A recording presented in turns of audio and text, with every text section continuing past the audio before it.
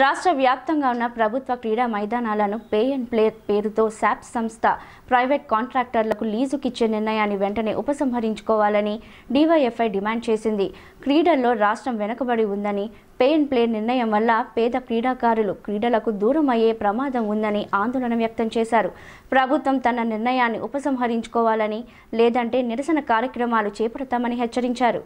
రాష్ట్ర వ్యాప్తంగా ఉన్న ప్రభుత్వ క్రీడా మైదానాలను పే అండ్ ప్లే పేరుతో శాప్ సంస్థ ప్రైవేట్ కాంట్రాక్టర్లకు లీజుకు ఇచ్చే నిర్ణయాన్ని వెంటనే ఉపసంహరించుకోవాలని డివైఎఫ్ఎస్ఐ డిమాండ్ చేసింది. క్రీడల్లో రాష్ట్రం వెనుకబడి ఉందని పే అండ్ ప్లే నిర్ణయం వల్ల పేద క్రీడాకారులు క్రీడలకు దూరమయ్యే ప్రమాదం ఉందని ఆందోళన వ్యక్తం చేశారు. ప్రభుత్వం తన నిర్ణయాన్ని ఉపసంహరించుకోవాలని లేదంటే నిరసన కార్యక్రమాలు చేపడతామని హెచ్చరించారు. రాష్ట్ర ప్రభుత్వం ద్వారా క్రీడలు నిర్వహించే బాధ్యత శాప్ది ఉంటుంది. స్పోర్ట్స్ అథారిటీ ఆఫ్ ఆంధ్రప్రదేశ్ అనే పేరుతో గత కొద్ది సంవత్సరాల నుంచి క్రీడాకారులను ప్రోత్సహించడం ఎంకరేజ్ చేయడం ఆ రకంగా పథకాలు సాధించడానికి అన్ని విధాలుగా శాప్ నిర్వహించలేనటువంటిది జరుగుతుంది. కానీ దీనికి భిన్నంగా గత కొన్ని రోజుల నుంచి శాప్ అధికారం ఈరోజు క్రీడాకారులకు శాపంగా మారింది. ఎవరైతే క్రీడలు రాణిస్తున్నారో వారందరిని ఎంకరేజ్ చేయాల్సింది పోయి ప్రోత్సహించాల్సింది పోయి వాళ్ళ దగ్గర పే అండ్ ప్లే అనే విధానం పేరుతో డబ్బులు వసూలు చేసి ఆట కావాలంటే డబ్బు కట్టాలి అనేటువంటి ఒక కొత్త ఒరుబడికి ఈరోజు శాప్ చైర్మన్ గారు కానీ ఎండీ గారు కానీ నిర్ణయం చేశారు. మేము అంటున్నాం డివైఎఫ్గా కనీసం ఏదైతే క్రీడల్లో అవగాహన లేని వాళ్ళను శాప్ చైర్మన్ గానో ఎండీ గారు పెడితే పరిస్థితి ఎలాగా ఉంటుందని చెప్పి అనుకున్నాం. అందుకనే ముఖ్యమంత్రి గారు వెంటనే జోక్యం చేసుకోవాలి రాష్ట్ర ప్రభుత్వం జోక్యం చేసుకోవాలి. ఈరోజు ఇప్పటికే రాష్ట్రం క్రీడల్లో దేశంలోనే అట్టడుగున ఉంది. ఇట్లాంటి పరిస్థితుల్లో రాష్ట్ర గౌరవాన్ని కాపాడాల్సింది పోయి రాష్ట్ర ప్రతిష్టను కాపాడాల్సినటువంటి శాప్ ఈరోజు క్రీడా మైదానాలన్నింటినీ కూడా పే అండ్ ప్లే పేరుతో మొత్తం ప్రైవేట్ వాళ్ళకి. ఇప్పటికే పదమూడు రకాల స్టేడియాలని ఈరోజు రెండు సంవత్సరాల పాటు లీజుకి ఇచ్చింది ఇంకా అనేక స్టేడియాల సంగతి తెలుస్తామని చెప్పి చెప్తా ఉన్నారు. అందుకనే ఈరోజు ఆట ఆడాలంటే డబ్బు కట్టాలంటే అంటే క్రీడాకారులతో శాప్ అధికారులు క్రీడలు ఆడుతూ ఉన్నారు. అందుకనే వెంటనే ఈ పే అండ్ ప్లే విధానాన్ని వెనక్కి తీసుకోవాలి. ప్రభుత్వమే శాప్ ఆధ్వర్యంలోనే క్రీడలు నిర్వహి గ్రౌండ్లు అన్నీ ఉండాలి ప్లే గ్రౌండ్ ఉండాలి అనేటువంటిది అడుగుతున్నాం. అనేక మంది ఇప్పటికే క్రీడాకారులు అనేక మంది డబ్బులు కట్టలేక ఆగిపోయిన పరిస్థితుంది. ఈ విధానాల్ని డివైఎఫ్ఐగా మేము ఖండిస్తూ ఉన్నాం. మీరు ఎప్పుడైతే క్రీడారంగాన్ని ప్రైవేటీకరణ చేయడానికి పూనుకున్నారో ఆనాడు క్రీడలు ఆంధ్రప్రదేశ్లో జీరో స్థాయికి పడబోతాయి. ఇప్పటికే తెలంగాణ తమిళనాడు కంటే అత్యధిక తక్కువ మందిని మనం నేషనల్స్కి పంపిస్తూ ఉన్న. పరిస్థితి. నేషనల్ తరఫున మన ఆంధ్రప్రదేశ్ ప్లే క్రీడాకారులు చాలా తక్కువ మంది ఆడుతూ ఉన్న పరిస్థితి. ఈ పోయే పోయే కాలంలో ఆంధ్రప్రదేశ్ క్రీడల్లో జీరో స్థాయికి తీసుకెళ్ళేటువంటి పరిస్థితి ఉంది. ఇప్పుడు బైరెడ్డి సిద్ధార్థ రెడ్డి గారు చెప్తా ఉన్నారు. స్పోర్ట్స్ క్లబ్లు ఆరు వేలు మేము ఏర్పాటు చేస్తా ఉన్నాం ఎవరి కోసం స్పోర్ట్స్ క్లబ్లు? స్పోర్ట్స్ క్లబ్లో పెట్టి ఆ యాప్లో వాళ్ళ ప్లేయర్స్ అందులో యాప్ డౌన్లోడ్ చేసుకోవడం వల్ల వాళ్ళకి వచ్చే లాభం ఏంటని చెప్పేసి అడుగుతా ఉన్నాం. మీరు స్పోర్ట్స్ క్లబ్లు పెట్టిన తర్వాత వాళ్ళకి ఏమన్నా మెటీరియల్ ఇస్తారా? వాళ్ళకి గ్రౌండ్ చూపించి ఆడుకోమని చెప్తారా? వాళ్ళకి ఎటువంటి ప్రోత్సాహకాలు మీరు ఇస్తారు? జగనన్న స్పోర్ట్స్ క్లబ్లు అంటే. జగనన్న గారు ఏమన్నా నేషనల్ ప్లేయరా? ఇంటర్నేషనల్ ప్లేయరా?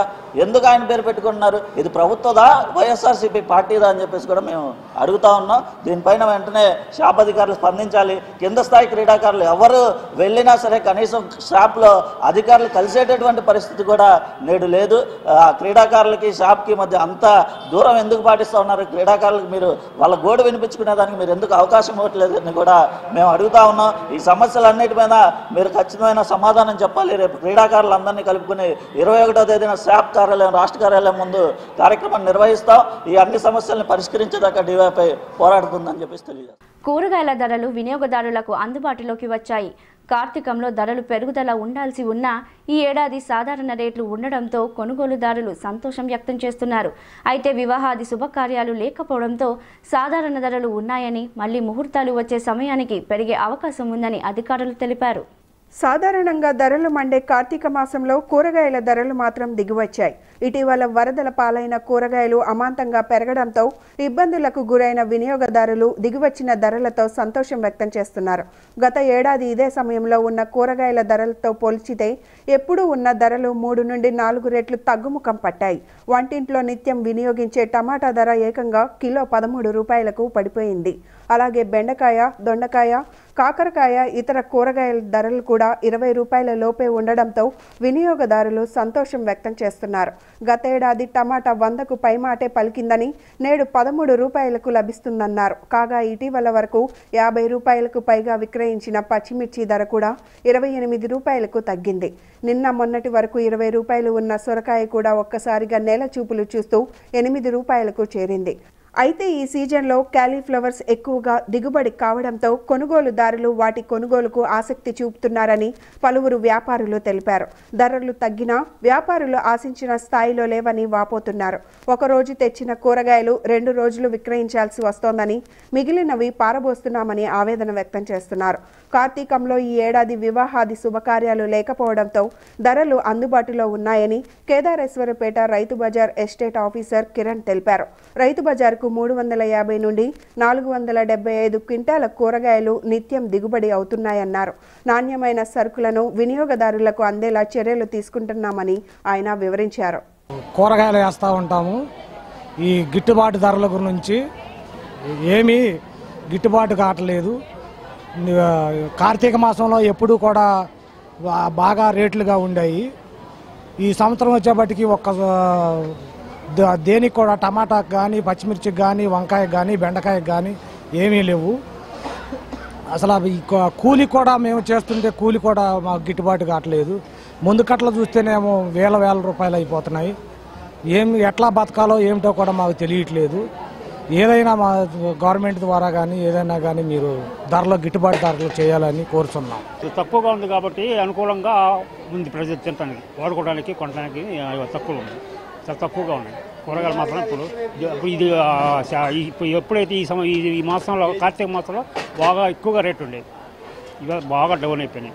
ఇది ఇట్లా ఉంటే రైతులు కూడా ఏం చేయలేరు. టమాటో చూడండి పదమూడు రూపాయలు. అసలు పండియలేడు పండించిన పంట కూడా కొయ్య కొయ్యట్లా వదిలేసాడు. టమాటా ఇప్పుడు నలభై రూపాయలు ఉండాలి. నలభై ముప్పై ఉంటే రైతు పర్లేదు కానీ పదమూడు రూపాయలు ఉంటే కూరగాయలు అన్నీ డౌన్ అండి ఇట్లా ఉంటే రైతులు ఏం చేయలేరు. పండిరు మళ్ళీ. నెక్స్ట్ నెక్స్ట్ ఇయర్ ఈ పంట పెట్టడం పండి ఏం చేస్తారు పాపం? చాలా బాగా విసుగ్గా రైతు. అంటే ఈ కస్టమర్లకి బాగుంది. వాడుకునే కస్టమర్లకి వండుకునే వాళ్ళకి తక్కువగా ఉంది కానీ రైతులకి ఏం బాగాలేదు ఇట్లా ఇట్లా ఉంటే రైతు చేయలేడు. వ్యవసాయం చేయలేడు అసలు.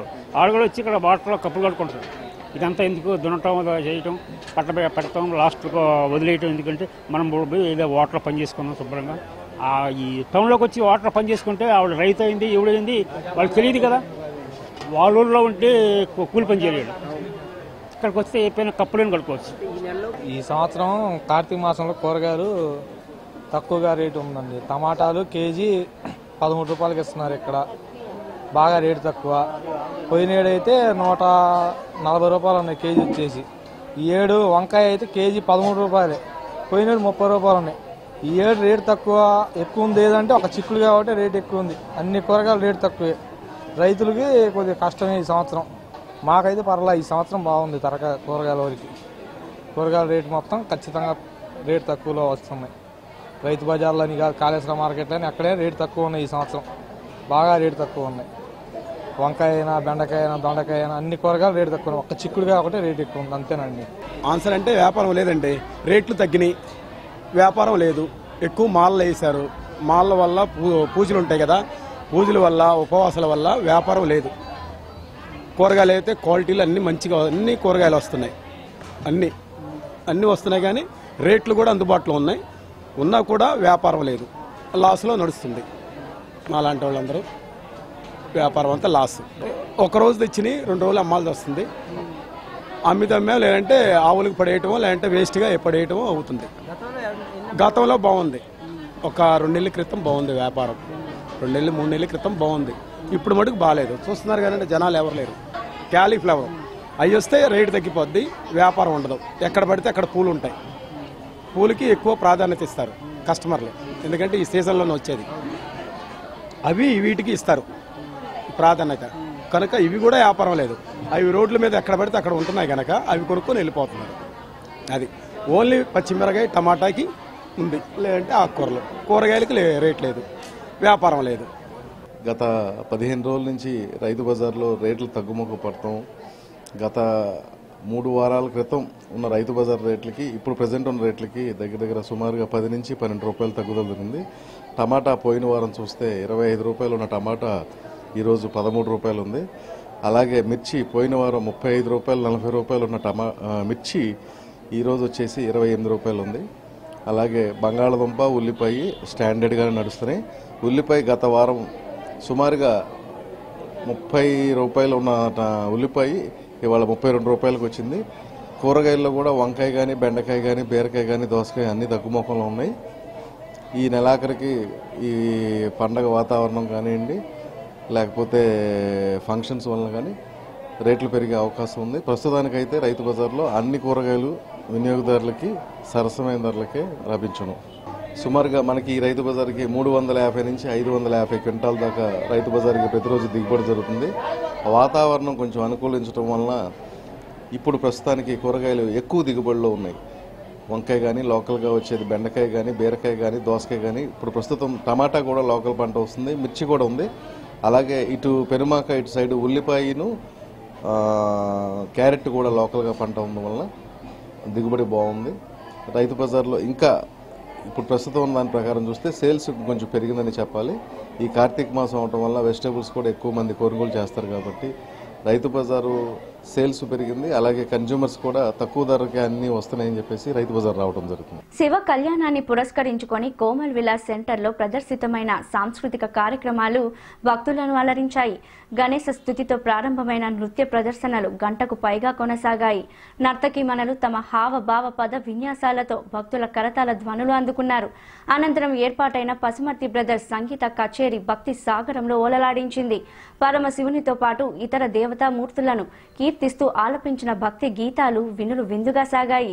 శివ కళ్యాణాన్ని పురస్కరించుకొని కోమల్ విలాస్ సెంటర్లో ప్రదర్శితమైన సాంస్కృతిక కార్యక్రమాలు భక్తులను అలరించాయి. గణేశ స్థుతితో ప్రారంభమైన నృత్య ప్రదర్శనలు గంటకు పైగా కొనసాగాయి. నర్తకిమణులు తమ హావభావ పద విన్యాసాలతో భక్తుల కరతాల ధ్వనులు అందుకున్నారు. అనంతరం ఏర్పాటైన పసుమర్తి బ్రదర్స్ సంగీత కచేరీ భక్తి సాగరంలో ఓలలాడించింది. పరమశివునితో పాటు ఇతర దేవతామూర్తులను కీర్తి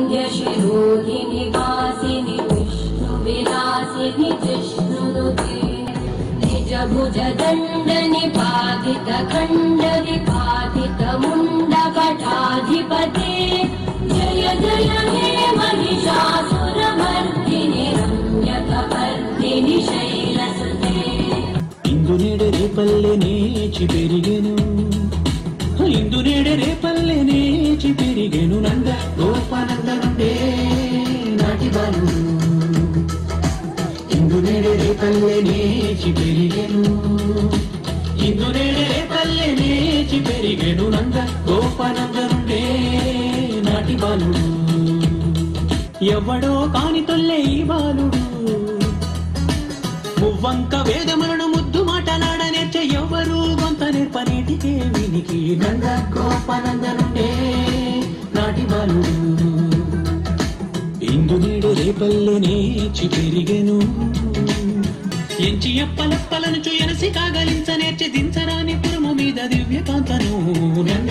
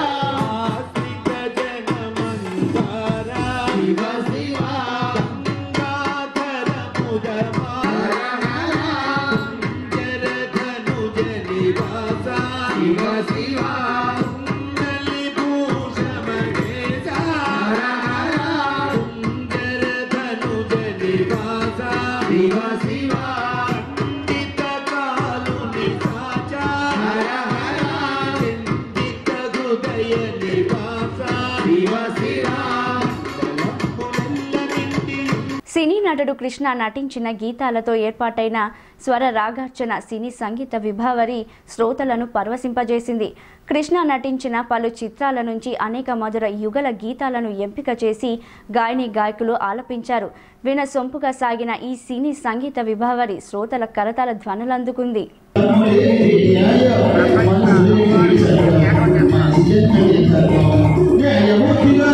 వార్తలు